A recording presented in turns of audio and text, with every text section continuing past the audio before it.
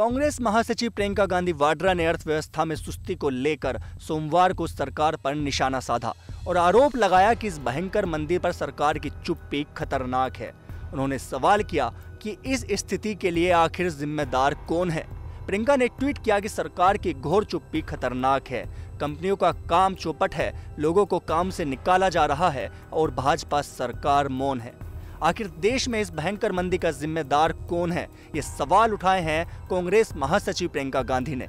इससे पहले उन्होंने एक दूसरे ट्वीट में कहा था कि देश का आम नागरिक भाजपा सरकार के शीर्ष नेताओं से वित्त मंत्री से इस भयंकर मंदी पर कुछ भी सुनना चाहता है। अखबारों में छपी हुई खबरें भी शेयर की, जिसके मुताबिक वाहनों की बिक्री में भारी गिरावट दर्ज की गई है। ऑटो क्षेत्र में 10 लाख से भी ज़्यादा लोगों की नौकरी छिन चुकी है, तथा कई कंपनियों में तो छटनी भी शुरू हो गई है। इससे पहले प्रियंका गांधी वाड्रा ने शनिवार को सरकार पर निशाना साधते हुए पूछा था कि आखिर किस आधार पर जम्मू कश्मीर में उनकी पार्टी के नेताओं को हिरासत में लिया गया है? शुक्रवार को प्रदेश कांग्रेस की इकाई के संवाददाता सम्मेलन को संबोधित करते हुए उन्होंने कहा, क्या मीडिया से बात करना भी अब गुना हो गया है? दरअसल पुलिस ने पार्टी के मुख्य प्रवक्ता रविंद्र शर्मा को हिरासत में लिया था और जम्मू कश्मीर के ही कांग्रेस के नेता गुलाम अहमद मीर को नजरबंद किया था।